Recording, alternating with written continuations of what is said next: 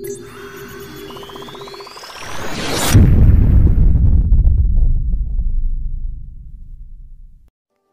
subscribe my channel MN Afridi Motovlogs and press the bell icon to never miss any update. Okay, so this is my Viaterra Claw Mini. So we'll do a quick unboxing of it. Uh, this was wrapped in this type of plastic. The package was absolutely perfect. It was wrapped in this. Uh, I need to open this because it had the bill, so I have to check it out. So this plastic I have opened it so let's do the quick unboxing of this box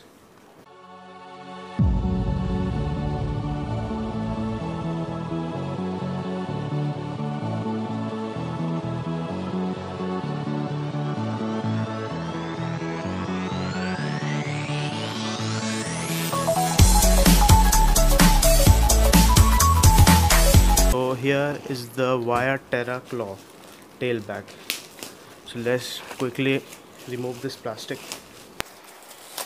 The packing was very well done. I'm quite impressed. Okay, so this is the first look of the Viaterra Claw Mini tail bag. Let me just zoom out a bit. okay okay so this is the first impression of the bag uh, it comes with a branding of Viaterra and we have some tags over here of the wire Viaterra so we get uh, a pocket on the above on the top of the bag to keep some documents or something like that. And inside we get a mesh pocket over here. Then we have the main compartment. The main compartment is actually very large.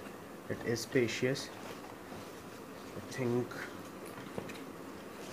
many stuffs can go inside. Lot. And what else? Okay yes then we have over here a side compartment for bottles or something like that. And same thing on the other side. So that's all. That is all the zippers. Then we get some straps to attach it on the bike the back seat of the bike. And then we have this big strap to hang it on a shoulder coming to the build quality the quality of this bag is quite good but it can be better seen when it is used in real time. So i'm not telling anything right now. First i'll use it and then i'll come to a conclusion. So let's see how it goes. So if you could see these lights lines these are very helpful in the night ride because these are the reflect light reflectors so we get over here and on the sides over here this light so i'll just show you and i'll switch on my flash and then i'll show you how it looks. So you can see it better. Okay. See. So that's all about it. Coming to the purchase of this bag i bought it from outdoor travel gear it's a site on google the link will be in the description and so this cost me around 2500 rupees indian rupees and uh, 250 rupees extra for the delivery charge I checked on the website of Viaterra, but the stock was unavailable, and same in the Amazon. So the bike, uh, so the bag was only available on the outdoor travel gear. So I purchased it from there. But I don't know why the price on this site is 500 rupees less.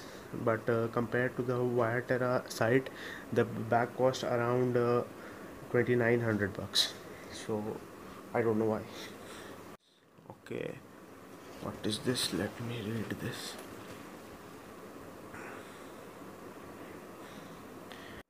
Hand wash only. Use mild detergent. Do not bleach do not dry clean dry only in the shade. So you you know how to maintain the bag for a longer use. So this was a quick unboxing and the first impression of this bag. So if you like this video do give a thumbs up.